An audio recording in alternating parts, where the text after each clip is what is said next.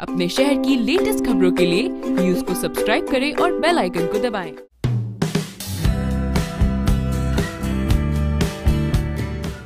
भगत सिंह की शहादत को इस साल सतासी वर्ष पूरे होने पर उनकी स्मृति में गोरखपुर में सतासी महिलाओं ने तिरंगी पोशाक में आरती की इस दौरान आठ कुंटल वज़न का 11 किलोमीटर लंबा तिरंगा झंडा बनाकर भारत माता के चित्र के साथ प्रदर्शित किया गया इस दौरान शंख ध्वनि के बीच भारत माता की आरती की गूंज माहौल में देशभक्ति के भाव ज़ोर से भर रही थी।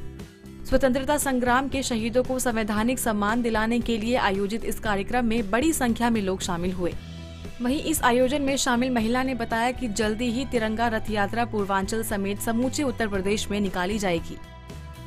हम लोगों ने हम, ये 11 किलोमीटर का तिरंगा बनवाया है।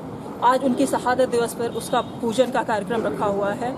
और इसी के माध्यम से ये ग्यारह लाख लोगों का सिग्नेचर लेके ये झंडा पूरे उत्तर प्रदेश में रथ यात्रा करेगा और इसके बाद सारे सिग्नेचर के बाद हम लोग पहुँचेंगे प्रधान, माननीय प्रधानमंत्री जी के पास, जिस और उनसे ये अनुरोध करेंगे कि वो हमारे वीर शहीदों को संवैधानिक अधिकार प्रदान करें। क्या इसको गिनीज बुक ऑफ़ रिकॉर्ड में भी जी ये गिनीज बुक ऑफ़ विश्व रिकॉर्ड में भी Limca book of record golden book of record India book of record में भी ये दर्ज होगा।